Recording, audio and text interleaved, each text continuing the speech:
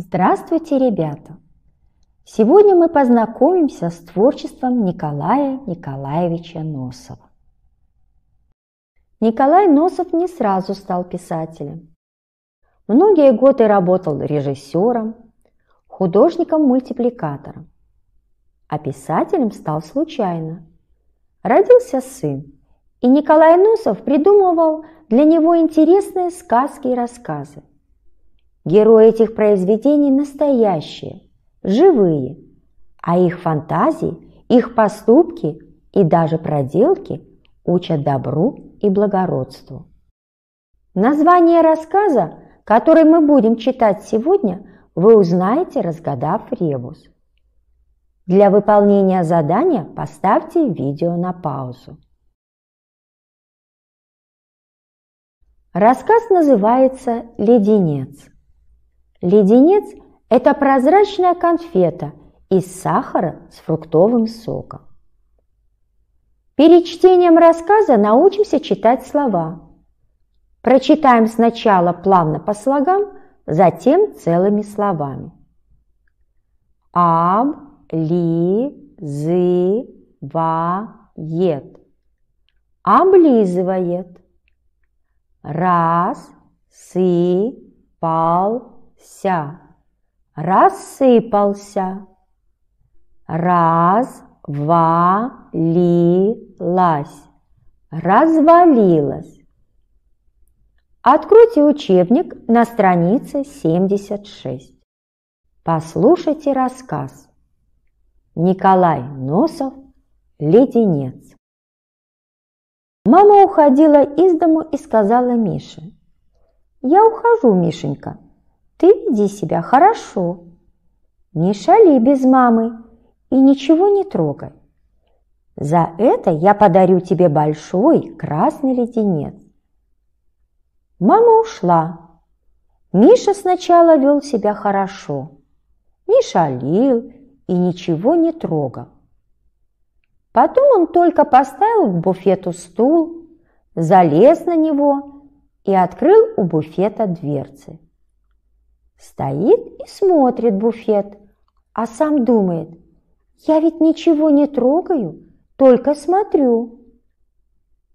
А в буфете стояла сахарница. Он взял ее и поставил на стол. «Я только посмотрю, а ничего трогать не буду», – думает.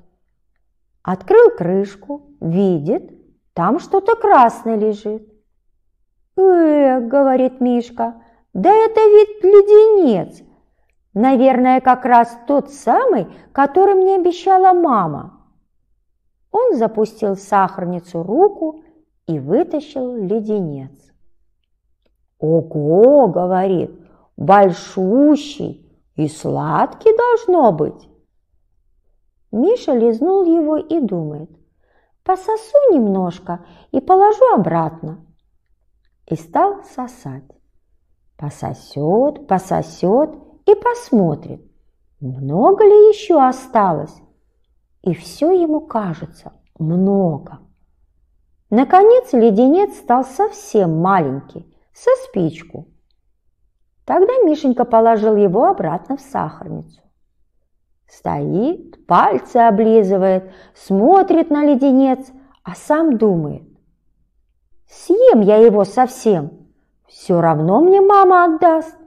Ведь я хорошо себя веду, не шалю и ничего такого не делаю. Миша достал леденец, сунул в рот, а сахарницу хотел на место поставить.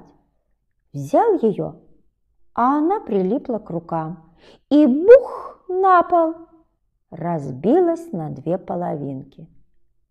Сахар рассыпался. Мишенька испугался. Что мама скажет? Взял он две половинки и приложил друг к дружке. Они ничего, держатся. Даже незаметно, что сахарница разбита. Он сложил сахар обратно, накрыл крышкой и осторожно поставил буфет. Наконец мама приходит. «Ну, как ты себя вел?» Хорошо. Вот умница. Получай леденец!» Мама открыла буфет, взяла сахарницу. Ах, сахарница развалилась. Сахар посыпался на пол. «Что это такое? Кто сахарницу разбил?» «Это не я, это она сама». «Ах, сама разбилась? Ну, это понятно. А леденец-то куда девался?» «Леденец? Леденец? Я его съел. Я себя вел хорошо, но и съел его. Вот». Главные герои рассказа – мама и сын. Уходя из дому, мама попросила Мишу не шалить и ничего не трогать. За это она пообещала подарить ему большой леденец. Миша прислушался к просьбе мамы. Он вел себя сначала хорошо, не шалил и ничего не трогал. Вам, наверное, знакома такая ситуация, когда нужно было потерпеть. Но детское любопытство взяло верх. «Я только посмотрю, а ничего трогать не буду», – подумал Миша. К чему же привело любопытство Миши? Чтобы ответить на этот вопрос, поставьте видео на паузу и прочитайте рассказ самостоятельно.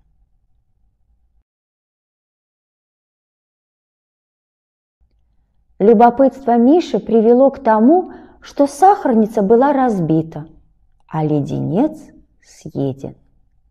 Миша испугался и попытался скрыть свой проступок, надеясь, что мама ничего не заметит. Что сделал Миша? Взял две половинки и приложил друг к дружке. Сложил сахар обратно накрыл крышкой и осторожно поставил в буфет. Вернувшись домой и узнав, что Миша вел себя хорошо, мама готова была выполнить свое обещание. Но тут правда открылась. Мама обо всем догадалась.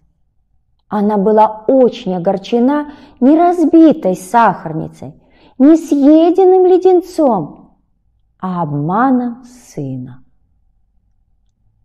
Что это такое? Кто сахарницу разбил?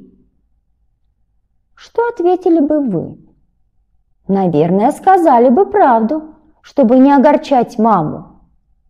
А Миша был не готов ответить за свой поступок. «Это не я, это она сама!» «Ах, Сама разбилась? Ну, это понятно. А леденец-то куда девался? Леденец? Леденец? Я его съел. Я себя вел хорошо, ну и съел его. Вот. Каким вы увидели главного героя этого рассказа? Выберите слова, которые характеризуют Мишу. Для выполнения задания поставьте видео на паузу.